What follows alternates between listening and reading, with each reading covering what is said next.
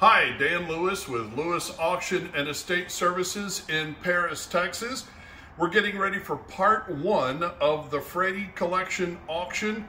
And since all of you aren't going to be able to make it to the preview, I wanted to share some of the special items, especially the cap guns that are in this auction. So rather than looking at me, let's get started. The first cap gun we want to talk about is lot number 181.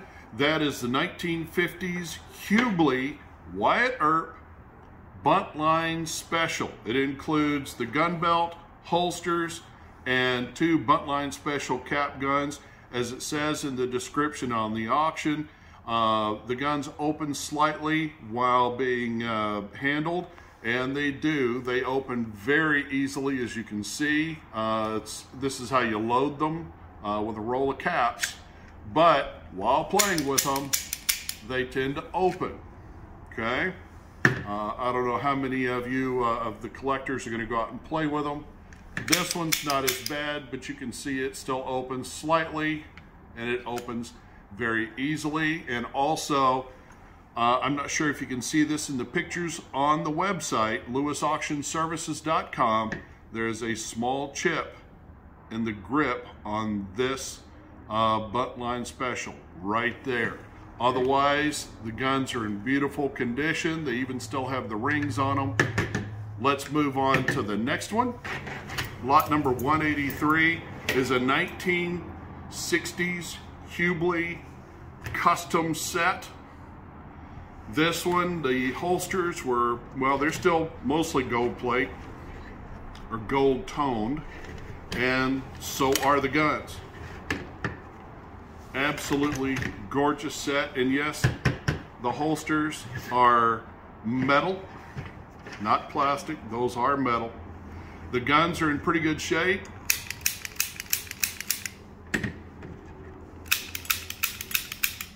and these are Hubley Texan model. Match set, though the red has worn off the star, as you can see, on one of them. But overall, these are in excellent condition. We also have lot number 184 is the matching spurs for this set, but they're a separate, separate lot. This is 183, the spurs are lot 184. Also, as you can see, and we've got this in the description on the website, lewisauctionservices.com, there is a crack and a chip in the grip on one of the guns. Moving on to lot 185. Lot 185 is from Kilgore. Kilgore made the cap gun and Esquire Novelty, the uh, belt buckle, holster, and gun belt set came from Esquire Novelty. These are being sold as a set. This is a Kilgore Lone Ranger cap gun.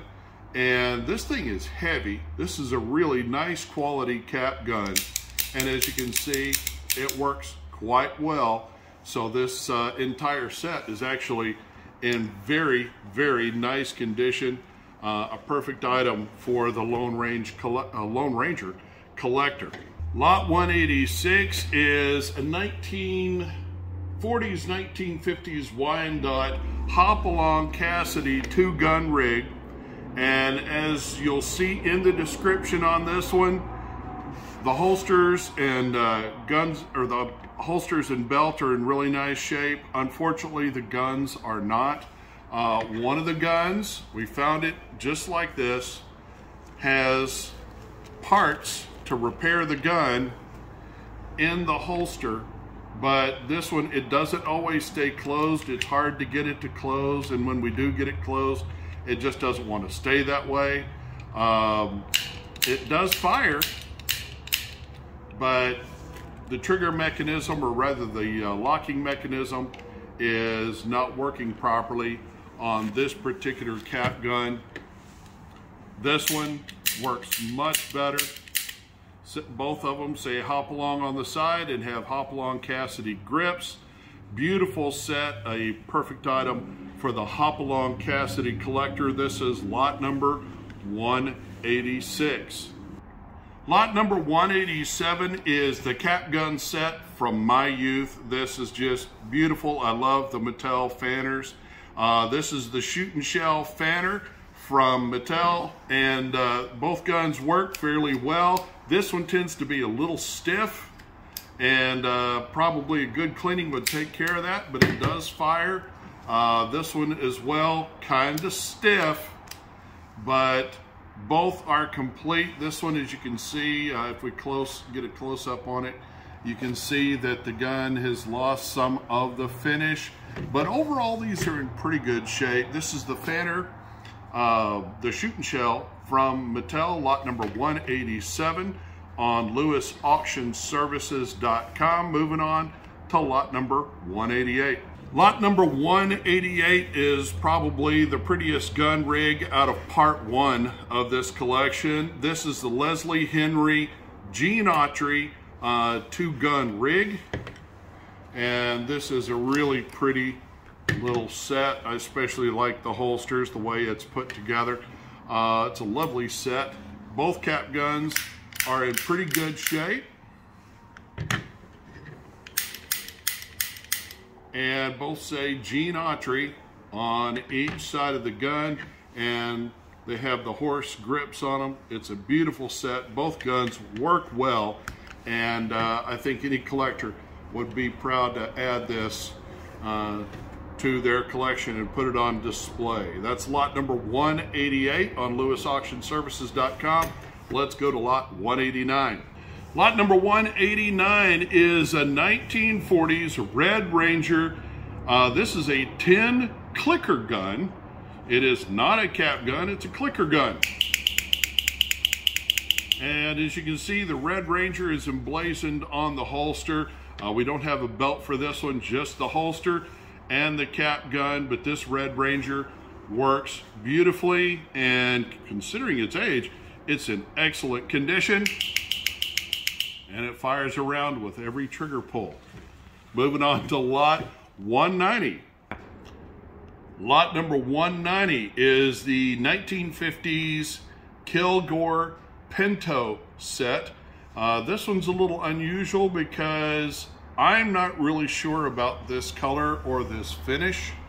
Uh, it looks like somebody painted it but when I did my research online, I found a lot more that looked like this as well. I'm just not sure if this is the original finish. I'm afraid somebody painted these, but again, I can't be 100% sure. But this is 1950s Kilgore Pinto set. Uh, they do work. Uh, this one misses about every third or fourth trigger pull, but both again in pretty good shape. Again, I'm just at 100% on that finish. The holsters are in pretty fair shape. There is some separation on the leather on the back, but these are, of course, you know, since it's from the 1950s, the holsters are leather. That's lot 190. Uh, coming up next, lot 191. Lot number 191 is an absolutely gorgeous Roy Rogers. Uh, this is about a 1950s Roy Rogers set from Kilgore. Two gun rig with just these beautiful matching. This is a little tiny set, but it's just so well made and so good looking. And the guns work beautifully. Uh, but this is the Kilgore Roy Rogers. Gun has Roy Rogers emblazoned on the side. It's a beautiful set, perfect set for any Roy Rogers collector. That's lot number 199 on lewisauctionservices.com. This is the Frady collection, part one. Let's move on to lot number 192. Lot number 192 is 1938 Marx Lone Ranger click pistol and holster. We don't have the gun belt for this one, but this one, as you can see, it says Lone Ranger on the side. There's Tonto on the holster, and it is, uh, I forget, with fleece lined on the outside, has fleece on the outside of the holster, and the gun works quite well, and it's in pretty good condition, especially considering its age. That's lot number 192 Let's move on to lot 193. Lot number 193 is from Actoy. It is a Ren 1010 cap gun and holster. We do not have the belt for this one, but uh, the cap gun is in pretty good condition. It tends to, like a lot of them that open this way, uh, as you shoot it, it tends to gap open a little bit. Uh, these opening mechanisms tend to wear out after a few years, but overall, this one is in beautiful shape. It's got a little staining on it, and the holster's in very nice condition as well. This is lot number 193, the Actoy Ren 1010 cap gun and holster. Lot number 194 is a 1950s Stevens Bang-O two gun rig. It's uh, the holsters, guns, and gun belt. And these Bang-O cap guns, a little kind of a snub nose arrangement. These are very nicely made cap guns from Bang-O. And the action on them is just wonderful. They're also really heavy and well-made cap guns. These are from Bang-O. You're getting the uh, two guns, the holsters, and the gun belt. Lot 194 on LewisAuctionServices.com. Check it out. By the way, this auction ends on Wednesday, November 10th. So you don't want to miss this. It starts, it's a soft close, and it will start to end at 6 p.m. Central Time on Wednesday, November 10th. So you don't want to miss out on this auction. Check it out, lewisauctionservices.com. Lot number 195 coming up. Lot number 195 is a, I believe this, yeah, it's a Kilgore number 14 Lone Ranger Special. Uh, now, I left the holster sitting on the desk in my office, but it does come with the holster. We do not have the gun belt just the holster uh, for this Lone Ranger special from Kilgore. Uh, this is a beautiful cap gun. It's very heavyweight and it works extremely well. Uh, just a beautiful piece and uh, would be perfect for any collector, uh, but especially for those of you who are Lone Ranger fans. This is a very special piece. Again, we do have the holster for it. Uh, you can see pictures of the holster on the website, lewisauctionservices.com. Moving on to lot number 196. Lot number 196, this is special because we still have the box for it. Uh, this is a Wyandotte Red Ranger uh, cap pistol. This is the Red Ranger Junior, and I can barely get my finger in there to fire this thing but it works rather well. It's a very nice cap pistol from Wyandotte. It is lot number 196. It comes with the original box. Let's move on. Lot 197. Lot number 197 is a Textan of Yoakum, Texas. A Textan holster set. It's in very nice condition. Still in the box. Even has the liner in the box. This is the Textan set. You're getting the gun belt and two holsters, perfect uh, for you to put your favorite cap guns in, but this is all top grain leather. It's a beautiful piece from, uh, it's called the Texas Ranger from uh, Textan in Yoakum, Texas. Lot number 198 coming up next. Lot number 198 is a 1960s Hubley Bonanza two-gun holster. Uh, we've got the uh, two holsters and we've got the gun belt. Unfortunately, the gun belt just wear and tear over the years uh, has come apart. But for the Bonanza collector, the Wild West collector, this is from the Bonanza TV show from the 1960s. Uh, just a really nice little piece you can add your collection. Coming up, lot number 199 is a 1940s Kilgore Bighorn die-cast cap gun.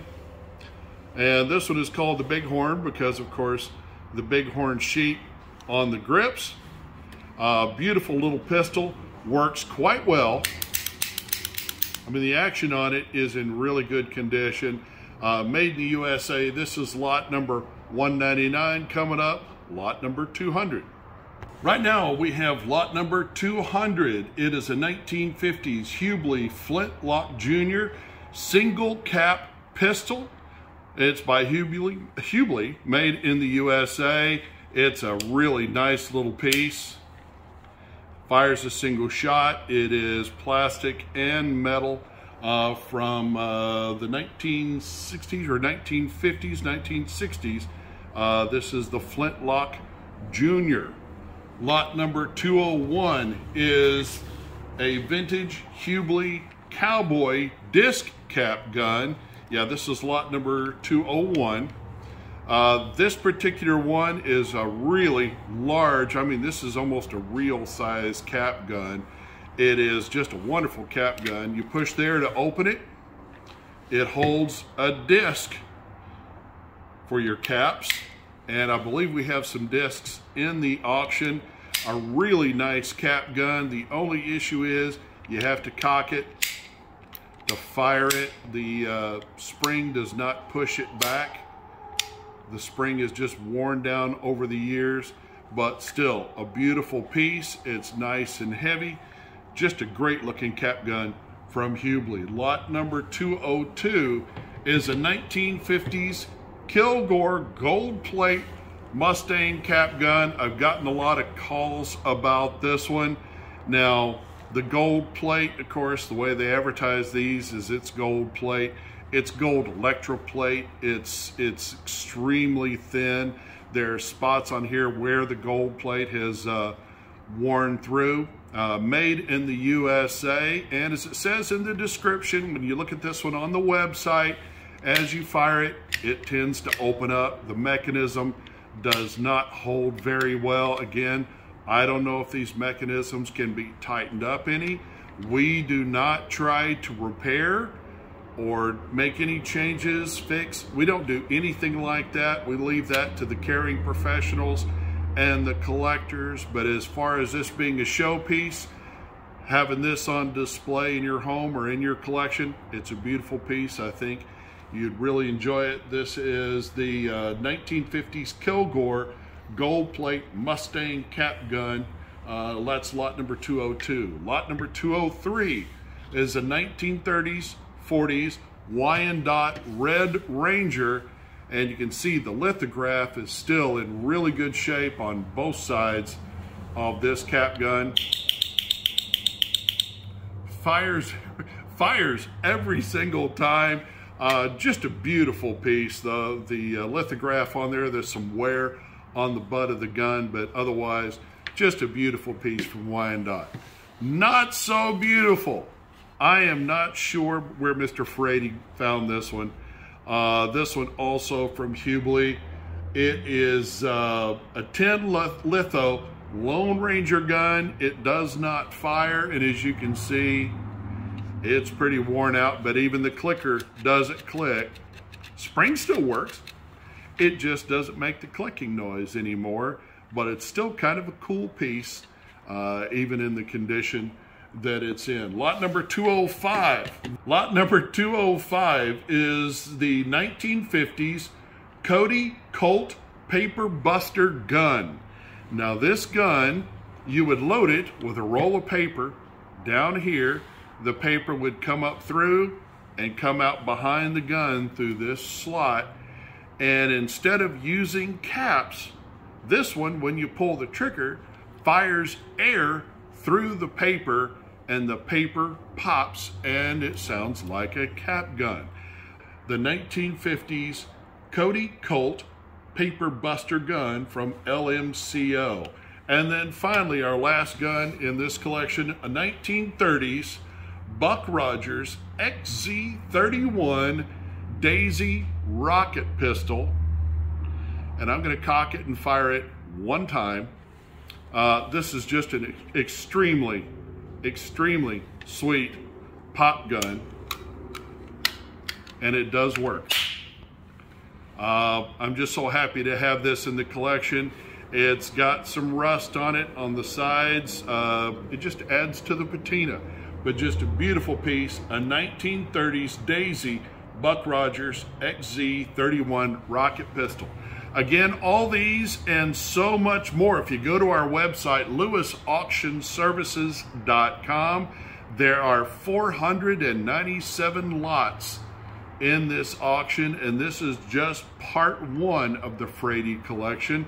Uh, be sure and watch for part two. But go to the website, register, bid, and we will ship most of the items in the auction. It's Lewis, L E W I S, lewisauctionservices.com.